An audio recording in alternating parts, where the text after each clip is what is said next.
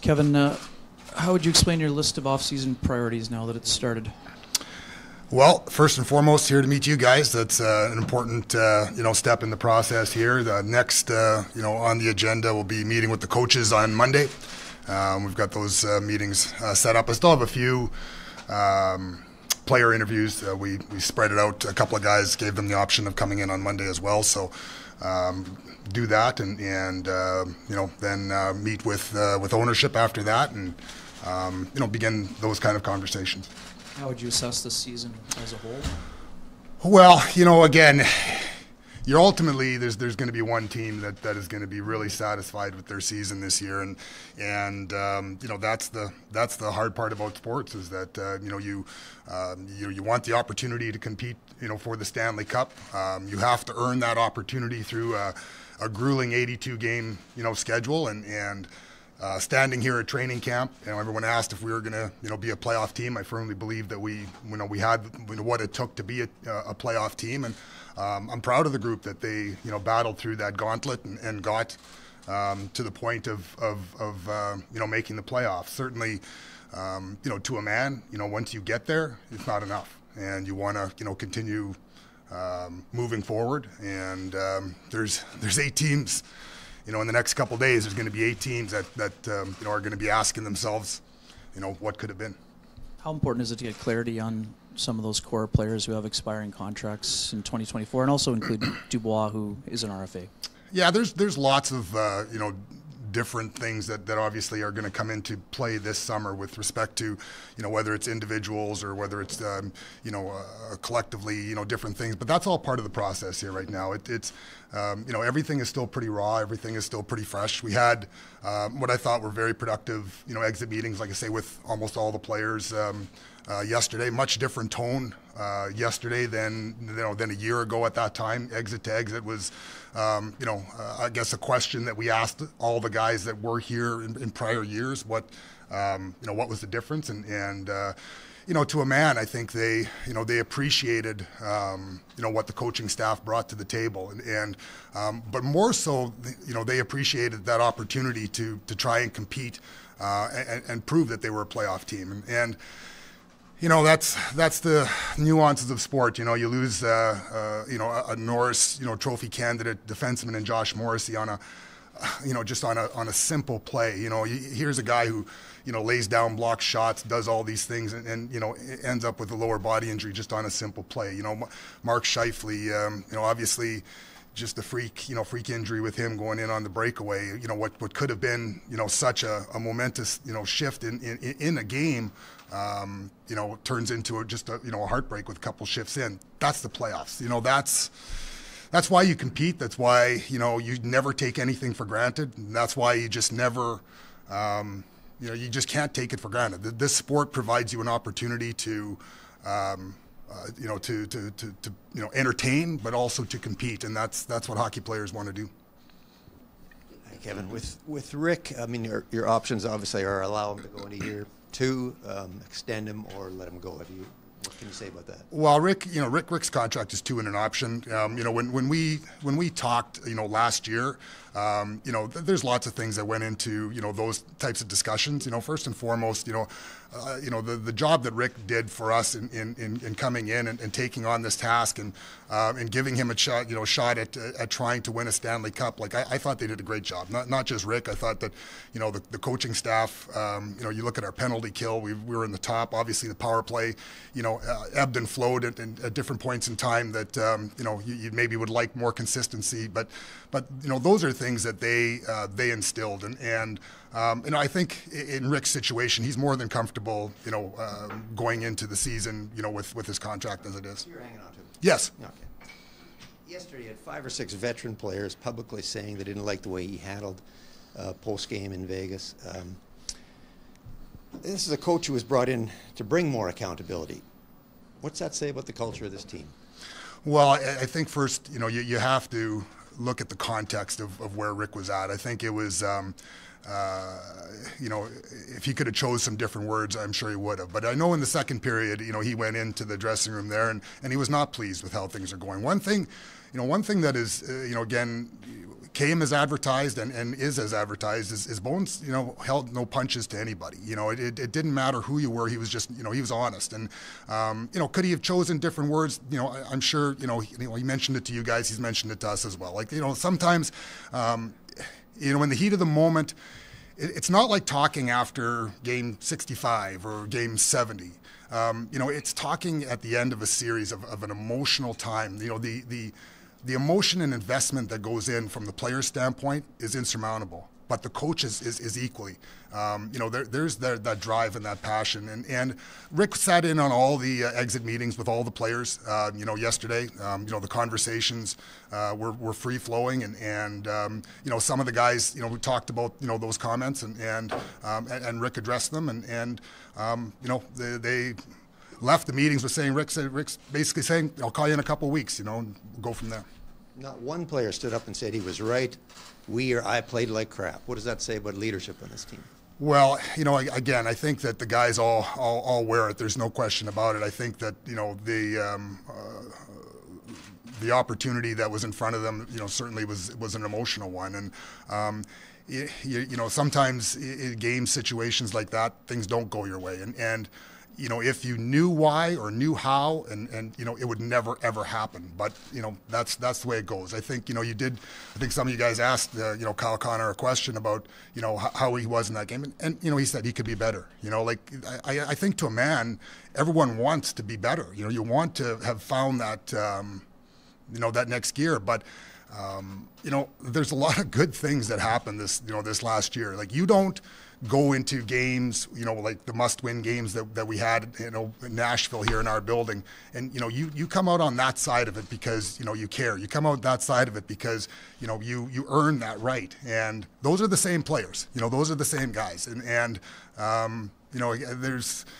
16 teams that uh, you know would have given anything to, to be in that same situation you know as us and there's eight teams now that would give this you know next situation, you know, that opportunity. We were on the other side a couple of years ago when we beat, um, you know, Edmonton. It's it's uh, you know, overtime games, uh, emotion, all those things. Every series is a, is a is a different animal. Last one for me. So what's your top priority then? You got two your top two centers need to be dealt with, your uh, number one goalie, and maybe your largest contract, all pressing issues. What's your priority? Well, my priority is to uh, take a step back and assess everything. That's my first priority. Um, you know, we had conversations, obviously, uh, individually with, with all the players, and certainly those players, um, you know, involved. I have not had any conversations with, uh, you know, any of their representatives yet. All the guys you know, they wanted to talk about the year. They wanted to talk about the series. They, they, they wanted to talk about, um, you know, uh, the the appreciation of of um, of how good this group was together, how they they you know enjoyed that opportunity to play together and um, uh, and appreciated that. You know, again, I think. You know, we stood here, you know, at the beginning of the season. I think, you know, the, there was a couple of players that commented is that um, they relished the fact that you know they were kept together to try to get uh, to the playoffs, and, and and that's what they accomplished. So, um, you know, we're, we're not sitting here waving any banners or anything like that. That's unfortunate. But you know, there, there's a lot of good people in that room that that, that push this organization to a to a good part, uh, good place.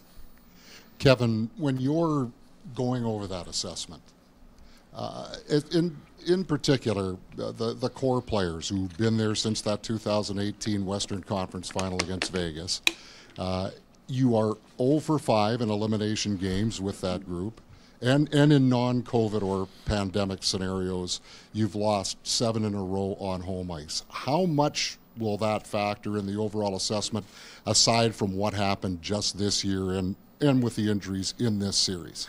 Well, again, you can take a collective look on a lot of things, but you know every team is different. Every series, uh, you know, is uh, is a different thing. Um, you know, ultimately, you're you're, you're going to end up with losses if you're not the Stanley Cup champion. But you know, again, um, you know that core got us to five of, of six and uh, you know playoffs as well. You know that that can't be you know lost. I don't know that there's uh, a lot of teams in Canada that that you know ha- have played that many games um, you know in the playoffs over that course of time. Um, you know it'd be interesting to, to look and see, but. Um, you know, you you play the sport uh, to you know to, to have that opportunity to get into the playoffs, and that, and that's what that core did. You know, more times than not. But you know, again, that, that is part of the process. You know, in, in, in, the business side of it does come into play. The contractual side of it, you know, does come into play. And um, but that's where, you know, you got to have these meetings. You got to, you know, uh, listen to the players, listen to what they're saying. And, and you know, we had that opportunity yesterday. Um, you know, debrief with the coaches, get their, you know, their their true and honest assessments of, of their job and what they did and, and what they felt. And then, um, you know, sit with your management team and, and, and talk to ownership as well. And one final one for me. Aside from an outright extension for Pierre Luc Dubois, what kind of things would you have to see or, or be in complete confidence of to go into July the 1st or beyond without a deal in place for him? You know? I'm not going to get into individual, um, you know, situations or circumstances with any of the players. I, I don't think that's productive. Um, you know, certainly a, a, couple of days after the, the raw emotion of, of a game, uh, I, have got emotions as well too. You know, it's it's uh, it's it's one of those things where you know I have to process you know my own emotion as well, and and and uh, make sure that if I am making the decisions, I'm making them uh, rationally and, and not you know from a knee jerk type of uh, of situation. So. Um, you know the, the business side takes care of itself, and and um, but for, from from a perspective of, of uh, you know concrete plans and stuff like that, it's really not the time for me to get into. Kevin, we keep hearing about the playoff track record, and and you know from the players to you now. The fact of the matter is, it's been 12 seasons, and you've won three playoff uh, uh, rounds it just seems like guys are satisfied with the status quo. No one's really holding anyone accountable. No one's necessarily saying we need to be better. People even think that they should have had a better fate against Vegas. It just doesn't seem to be a lot of looking inside. You've been a cap team. You've spent to the cap for years now. Like can we just get an understanding of what the standard is and if you guys have even reached close to what your expectations were at this point? Well, again, you, you go into every season uh, wanting to be a Stanley Cup champion. It doesn't uh, necessarily work out for you know all the teams, but 20 you know for 29 of them, it works out for one of them. But um, you know, I, I think what you want is, is uh, you know, in, in, this age of, of, parity in the National Hockey League, uh, you know, and the cap and, and, the cap being flat for the last you know couple of years, um, you know, you, you have to manage accordingly. Like you know, you'd like to keep everybody in, in, in that perfect world. There's lots of guys that have left our organization that, you know, if we were able to keep them, you know, from a cap perspective, uh, you know, again, I think that, you know, you'd love to build that dream team, so to speak, that, that can, you know, take you to, to different areas. But, um, you know, as you're seeing in these playoffs, like, you know the the you can finish first overall and, and you can be playing a game seven in, in, in the first round it, it's a tough league to win in and um, you know the, the you have to try and approach uh, each and every year with you know making sure you've got what it takes to give yourself that opportunity. And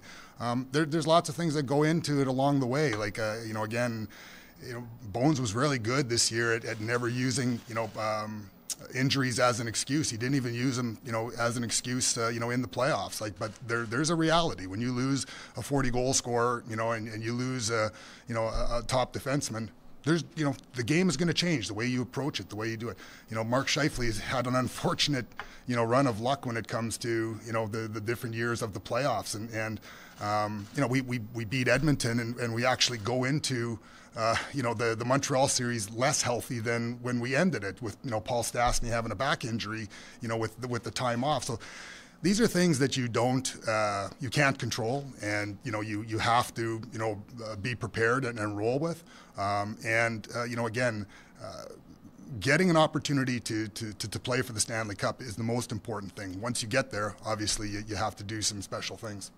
Noted the improvements from last year to this season. I think it was fair to say last year didn't go as planned. A lot of guys talked about the culture in the room, the accountability, all that stuff. There was a new thing signed, pledge signed this year you know, but players, I mean, Rick, you mentioned Rick. I mean, he was very blunt in his assessments throughout the year about guys not giving it their all, about having to get more from the better players. It seemed like a lot of those habits started to creep in. Players talk privately about players choosing who they played with and, and, and those kind of things, stuff that they hadn't seen in other markets.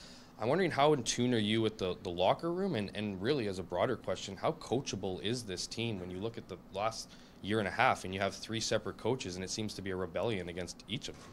Well, I, I, guess I would disagree with you with respect to the rebellion. You know, against uh, against Bones. It's uh, you know, Bones was you know very very candid. and and you know I've never ever take that passion away from from Bones because um, you know again I, I do think that the you know a, a couple of uh, you know, ill-used words, you know, doesn't define what went on this year and, and shouldn't define what went on this year. And and and I think, you know, I, I think you know maybe you guys are underestimating just how hard it is to make the playoffs. And, and just how hard it is, you know, to, to you know to, to, to, build a, a group of professional athletes that, that obviously all have talent, all have um, you know, throughout the course of their career, different successes at, at, different things. And and I think it just really underscores, you know, the the, the job that, that Bones and, and his group came in this year, um, you know, to, to get that. Our, our, exit meetings last year, I think we started at nine in the morning and we finished at seven, uh, you know, at night. You know, yesterday we were done at three. You know, like there was there, the, the, the tone, you know, the appreciation for the accountability that, that, that Bones brought in, for the the amount of learning I think that a lot of a lot of players, both young and you know and, and veteran guys, um, you know, learn from an experience. You know, like um, you know Scott Arniel coming from you know the Washington situation and the Rangers, and you know Brad Lauer, you know, with his experiences in, in Tampa and and different things like that there was a lot of behind the scenes things that, that, that really helped push this, uh, this organization forward. Elliotte Friedman said on, on the panel yesterday um, that there was a full expectation that you were going to be back, that you're the, you're the GM of this team. Knowing how calculated this organization is with information, we, I'm assuming we are led to believe that's the case. If, if what looks to be a very significant offseason here, maybe even the, the likelihood of players moving on, I, I guess the question is how do you justify you being the right person to sit, to put this team into into the future here after getting 12 years already to do so? Well, I think you you know again it's, it's, it's I'm not I guess coming up here to justify my job. It's it's uh, um, I have the, the pleasure and, and the privilege of, of, of, of, having one of the 32 general manager jobs in the National Hockey League, and you don't take that uh, lightly. Um, and I have the distinct honor of, of, having it in one of the most passionate markets, um, you know, in, in, the league, where you know the, the game means so much, you know, to the people of Winnipeg and the province of Manitoba. Um, so, so those are things that I don't take lightly. But I think if you, you know, you, you, you come into a season, I think, you know, I, I, don't really read all the articles, but I'm not sure who predicted we were making the playoffs this year. But um, there we go. They're very astute man back there. But um, uh, you know, we, we, we've provided an opportunity for this team to, to, to, to have a level of competition to, to, to be in the conversation of, of making the playoffs and, and moving forward, um, you know, over the course of time. We've been able to, you know, draft and, and develop and retain, um, you know, many players when, you know, when, uh, you know, and developing the core. We can talk about the core and, you know, maybe they didn't get it done or different things like that this year, but we developed that core. We, we drafted it, we signed it, we kept it, um, and you know again we you know five of six years we got an opportunity to uh, you know to play for for the cup. Um, there's a lot of tough decisions to be made, and and you know we have to we always have to make tough decisions. I sat there last year with an extremely tough decision in Andrew Copp, and um, you know we, we we ultimately made the choice of, of of doing what we did and you know that choice has turned on to you know Morgan Barron, who is uh, you know again a, an up and coming player in our organization that's only going to get better. Uh, Elias Salomonsson, who's a you know playing in the Swedish uh, Swedish Hockey League this year, and, and, by all accounts is a you know a really good player coming up, and Brad Lambert, and you know who's having just a, a monster year in, in junior, where you know again that's the that's the exciting part with some of those decisions. So we have lots of decisions to make, and I'm just thankful I'm the guy. Kevin, how would you sell hope right now to fans who look at the team and, and, you know, going back to Paul's question, potentially losing the top two centers on this team, potentially losing the, you know, the Vezina goalie. How, how do you how do you tell fans that this team is actually going to be better next season, that they're going well, to make the playoffs? You know, I, I, I don't know that we're losing those guys. I don't know that that's the you know uh, the, the directions. Uh, those are the part of the processes that you know have to take place uh, you know over the period of time. I think that you know the fans you know definitely appreciate that fact that you know decisions aren't made just by knee jerk. They're not made just by you know overreaction. I think you know that that's that's what the you know fans have, have come to expect and um, you know that's that's what they're going to get. And, and you know moving forward, um, you know those decisions are going to have purpose and and, uh, and and you know it's it's it's a challenge. Sure. Um, did you expect? Mine just going back to Paul's question. Did you expect? No, it's it's words. It's one word that Rick Bowness used yesterday. That or on after Game Five that you know he said he would take back, but they're just words, and and you know the players are upset about them, but it didn't seem like any of the players really took that kind of on themselves. It was almost like you know they almost had an out to the way that they played because of the fact that a certain word or a way that it was going. Is that not an issue in terms of how this this team kind of handles its its own adversity, whether in season, at the end of the season, whenever?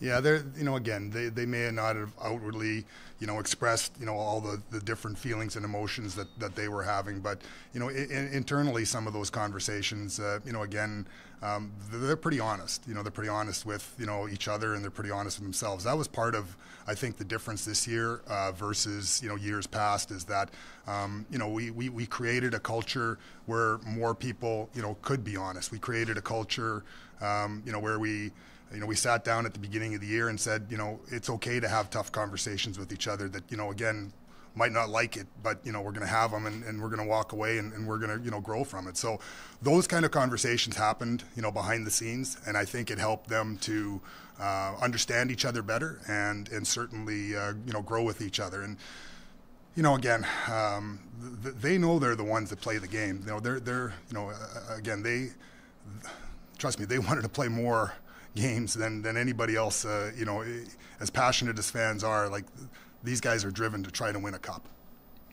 The team started um, a season ticket drive just a few weeks ago, and a, a, lot of those passionate fans you're talking about say they want to see change and, and big improvement before they spend their money. I mean, how aware are you about how important what you do in, in the next few months might affect that bottom line. Well, I live in this community, you know, year round. I, I'm part of it. Uh, I, I, buy my groceries, you know, with, with all those people. I, I, I get my gas. We have those conversations. I got, you know, friends at the coffee shop that, that chirp me every day. You know, those are the kind of things that, that, that make Winnipeg just a very you know unique place and, and, make you you know want to care for it and I think that you know the fans you know want to make sure that whatever decisions are made are made with a purpose they're not made just to to have a knee-jerk reaction. They're not made to create headlines. They're not made for Twitter clicks. You know, they're they're made, um, you know, for for a purpose, and they're made to, uh, you know, uh, a, a, common goal.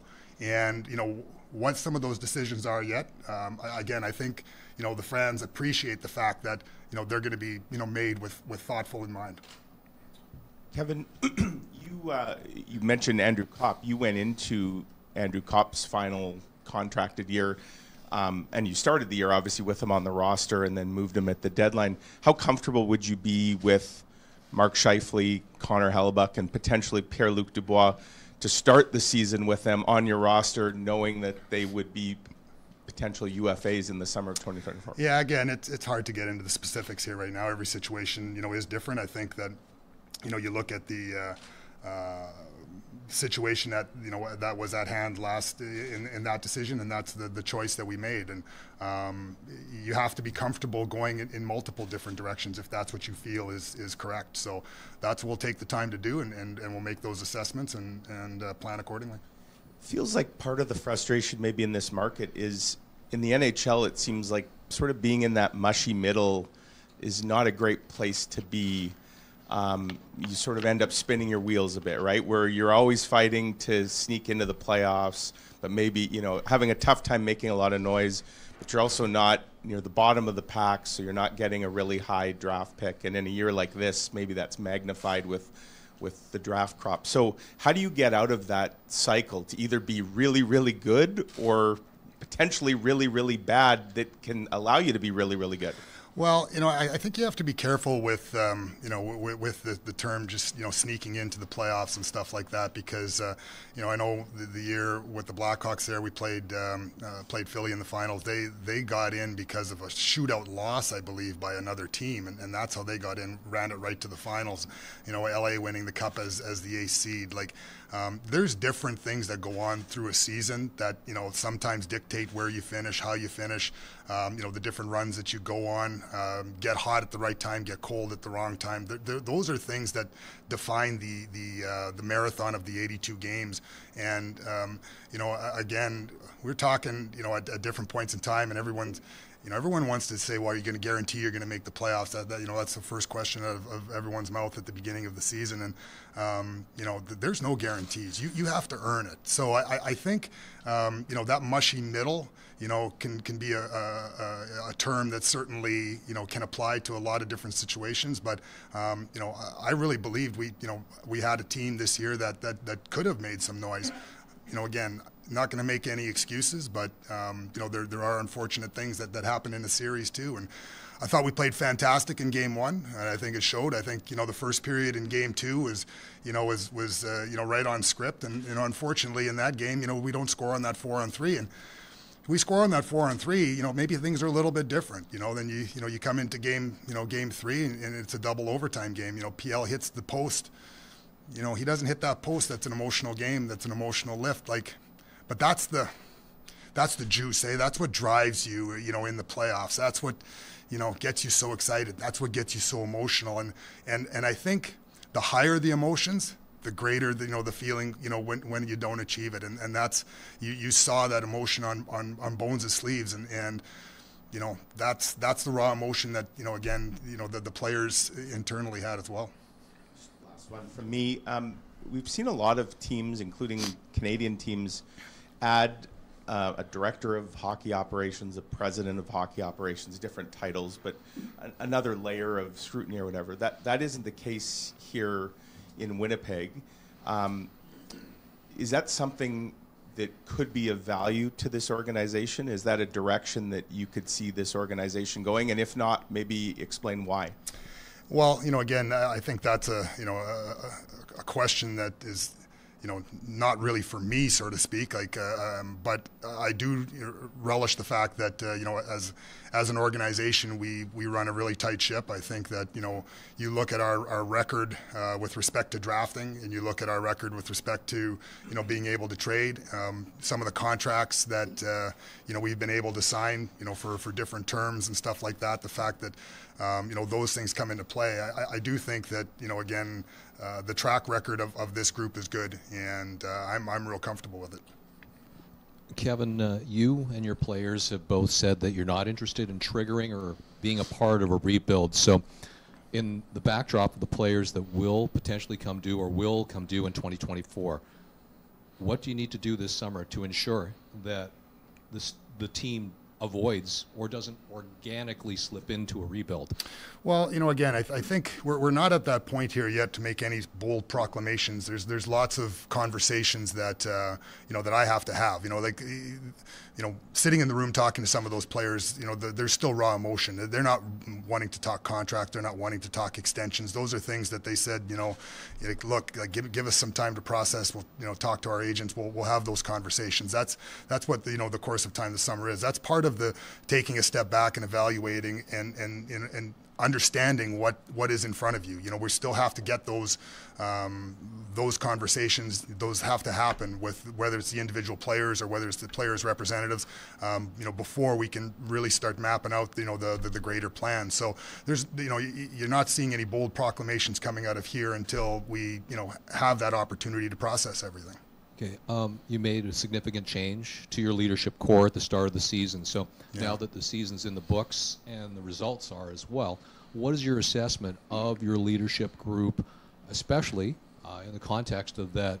Again, some of these players yeah. due next season, you're going to have to make decisions on, and that this season was ultimately the result was not ultimately what you wanted or expected. Yeah, no, and I thought that. Um, you know, I, I, thought we accomplished what what uh, we had talked about at the beginning of the year. We wanted, uh, you know, the the ability for some of the you know other players to have to bear the responsibility of, of that leadership, to to have to, um, you know, not just be Blake Wheeler come up and, and, and stand here and, and, take the questions on a nightly basis, um, you know, when things don't go right, and, and you know, and, um, which you know he's done admirably and did a fantastic job. But you know, so it allowed uh, it allowed the group uh, to to expand, and uh, it allowed everyone to take more ownership. Um, and but but you know, make no mistake, like Blake, you know, just because he didn't have a C, you know, his level of leadership and his level of caring, you know, and, and he said it, I think, at the beginning of the year that that that's not going to change. That didn't go away. Um, you know, again, it, it, it spread that responsibility, and I and I think, you know, it, it helped you know players grow because um, you know it's it's it's not easy, you know, for for players sometimes to, to naturally, um, you know, uh, have to evolve as a leader, and, and and I think that's what helped make this group so tight and um, you know uh, care about each other so much. Kevin, you've been receiving questions about sort of what your standards or hopes or expectations are, and um, you know you, you, note five out of six playoff um, appearances, which means that you count the qualification round. I mean, you could quibble and say it was four. You asked about stats about playoff wins. Uh, Winnipeg's 25th of 32 since 2011, 2012 in terms of playoff games won. Um, and I'm wondering then, you know, you, you, got questions about are the standards high enough? We don't hear your players say they need to be better. We're not hearing you say you need to be better either. There's none of that, I don't think. I don't think, you know, again, it's, it's, it, you know, you can sit here and, and, and say those things, but you, you have to, you know, you have to find those ways. And, and the players sat there last year and said, you know, we're not happy that we didn't make the playoffs. And and you know, so they found they found a way. They ground their way, you know, into the playoffs this year, where everyone said, you know, get rid of this guy, get rid of that guy. You know, you, you got no chance.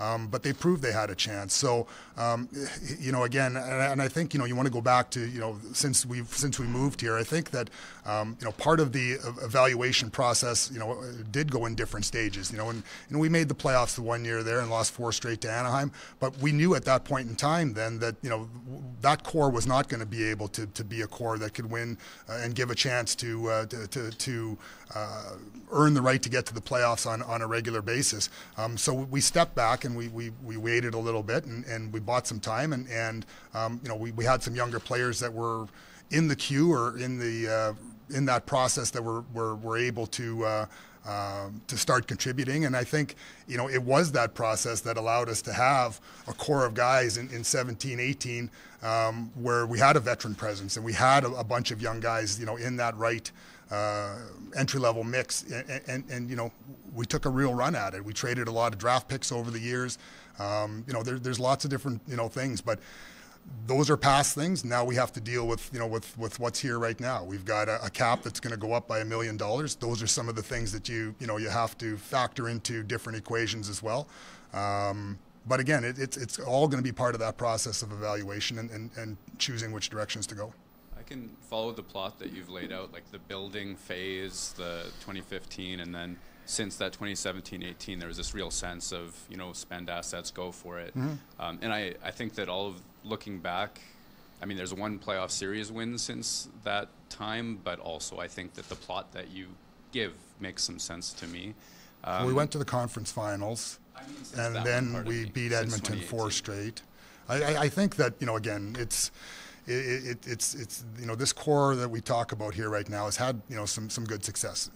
Granted, we haven't won the championship, but you know again, um, th- these these are things that you know again you you, you try to aspire to do, and, and sometimes you you know you fall short, and and um, but again, it shouldn't diminish, you know, the, the good things that, that, that you try to uh, try to accomplish. Yeah, I didn't mean to paper over well, 2018 in that way. That wasn't. Don't let the facts stand in the way of a good story. Yeah.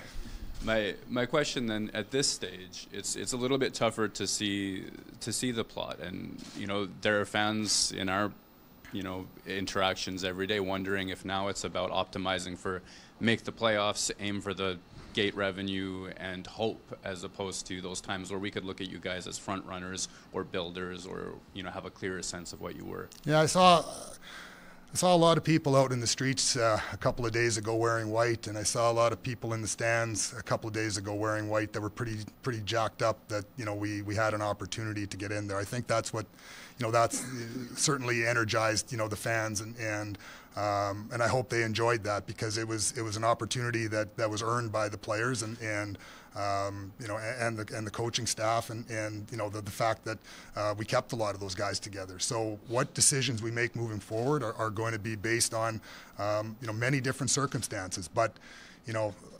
I, I, I, hope and I do think that the fans appreciated that they, they had a chance to go in those stands and, and you know coming out of a pandemic and, and cheering for a team that uh, um, you know that that's theirs. And the last one for me is also uh, about the fans. One of the things that I would have seen a lot of following the trade deadline press conference was a bit of reaction to you um, mentioning, "Hey, this isn't fantasy hockey." And in the time since then, I mean, injuries hurt hard. There weren't, you know, backups necessarily to that. I forget my editorializing, but do you do you regret that type of phrasing? You know, to to tell fans when you were asked um, what give what should give you belief, or why didn't you do more? And your response was, "Hey guys, this isn't fantasy hockey." Well, I, you know, again, I think we were linked to probably every single player that was out there, you know, in the in the trade deadline, you know, and you know, you, you can't be linked to, to everybody. You know, in reality, one, you don't have the assets, um, you know, you don't have uh, you know, the the ability to, to, to, to, grab every single player that we were linked, uh, you know, to, and for various different reasons, you know, some of those were real and some of those weren't. Um, you know, so that's that, that's where it comes to. I, I you know, I, I, thought that Vladdy, you know, came in and, and you know was, was true to form. Like he, he, he was like a Swiss Army knife for us, playing a lot of center. Um, you know, gave uh, gave Bones an option to uh, you know to, to do things on a different uh, different line uh, combinations. Uh, you know, I thought Nino was you know, was uh, was and is you know a big part of it. I think that you know his playoff experience as, as well was was helpful. Um, you know, with respect to uh, you know his knowledge and and, and, and, his experience in, in, different teams and stuff like that. So um, you know, I, I, thought our additions you know fit what we needed. Certainly, um, you know, again, you, you can't plan for injuries, and uh, but you know what we did have is I thought we did, did have good depth. Uh, you know, on on the bottom six as far as uh, throughout the year. I think that we we recreated our fourth line to a point where you know Bones uh, you know felt very comfortable you know using them in, in many different situations. Um, you know, and and uh, and again, those are things that you know you uh, you know you build through the course of the year, and and you know you, you tweak at the deadline. Not every acquisition has worked you know for for every single team. Um, you know, there's there's going to be a couple of teams that that spent first round assets that uh, you know there's a couple that are out, and there's a couple that are uh, you know potentially out here in, in, the next couple of days. So there's no guarantees in in, uh, in this game. You're.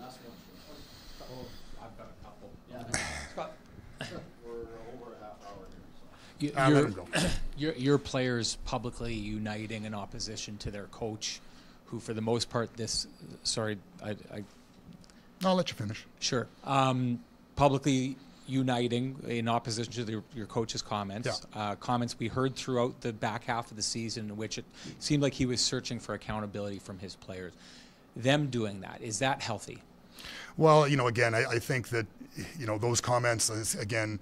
Um, I, I, know that Bones spoke to them in the second period and, and, and you know talked about you know the, the standard that you know he wanted uh, you know in that game. I think that those comments. Uh, again need to be looked in, in context as to you know I think Bones was, was was was specifically referencing that game which wasn't up to his standard and and he has to let those guys know. And I think each and every time one thing I know for sure is that you know when when Bones you know said something to me like I'm going to meet with so and so or I'm going to show so and so this or I'm going to you know talk to someone that it happened. It happened fast too. Like it, there was there, there's not a there's not a time frame where Bones you know kind of well maybe I should or maybe I shouldn't. And I think the players appreciated that. Did they did they not like um, you know those words and those comments? Yeah, you know yes. You know and, and we talked about that in the exit meetings. And like I said, Bones was in the exit meetings as well. So um, you know th- those things have been talked about. And and um, you know uh, again he's a passionate guy and they're passionate players. I think last year's exit meetings, you know, showed a lot of the, you know, the the, the, the passion that they had in, in, in, in various different ways. Um, you know, this year, you know, the passion was, um, you know, we, we appreciated this opportunity and, and it, it, it, it hurts that we can't move forward.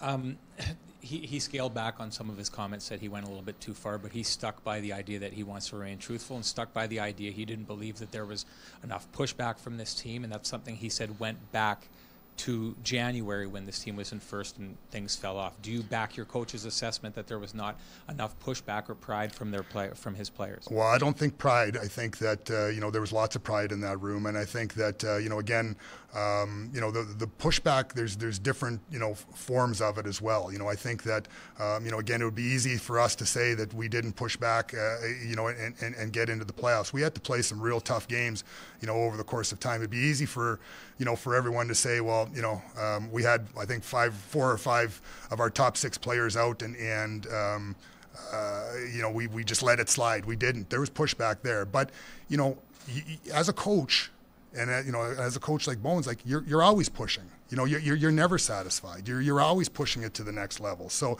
you're always challenging, you know, players and, and individuals, you know, to be better. Um, and, and, and that's a hard thing, you know, on a, on a regular basis. But, you know, again, Bones pushed, those players reacted. We made the playoffs. Unfortunately, we didn't get the, you know, the ultimate job done. Just a clarifi- clarification uh, on a question you answered before. Uh, your players made it absolutely clear yesterday they're not interested in a rebuild. Uh, it's been reported the organization feels the same way. What is your appetite for a rebuild? Well, again, I'm, I'm not really standing here making any proclamations at this point because there's there's there's lots of uh, lots of discussions that have to happen. I think that's I've been consistent in in, in that you know comment here. There's um, you know there's realities that we have to address. There's there's contracts we have to address. There's uh, you know, various different things that, that'll come from coaches meetings, ownership meetings, um, you know, and, and again, we'll, we'll go through the process and, and we'll make those proper decisions. I guess just the final one for me. I, I know that you, you're you, you appreciate some of the things that your team has accomplished. They clearly like being around each other. They've said that. Um, and you have to take and you have to weigh that and decide what to do. But from what you've seen over this team over the years, is there change that is required to get them over the hump? It sounds like there's belief in this team and belief that things could have gone a different way. But is there a belief that there's change required in order to get a different outcome? Well, we're going to look at you know all those things, and, and, and if there's an opportunity to make a change that makes our organization better, that pushes us in that direction, you know, we're, we're going to evaluate it. If, if you know we look at the, the, the situation and, and we choose to go a different direction, you know, again, those are things that you know you, you have to see, you know, what's what's uh, what's available to you and, and what your you know your options and your decisions are, and and um, you know those those things don't happen 48 72 hours after um, you know after you're talking about a, a, tough loss. Kevin just a quick one. Looking ahead to next summer or the next season sorry 2021 second rounder nikita chibrikov is in town uh, yeah. he was at the moose game on friday what is the plan i believe today is the last day of his khl contract so he can be signed tomorrow so what is the plan for him yeah so it, uh, it's, it's really exciting actually to uh, to have that opportunity uh, for him to get here and and uh, you know nikita's uh, you know an exciting young player i think that um, you know is you know the fans are actually going to be you know uh, really pleased with here once he gets acclimated to, to North America. Um, you know we'll we'll go through that process. Obviously, with a, player coming from the KHL, it's a little bit different than just a player from uh, you know from junior or college, and, and um, you know we'll, we'll, take those steps to make sure that uh, uh the process is. Um, uh, completed properly so that there's there's no hiccups or anything like that.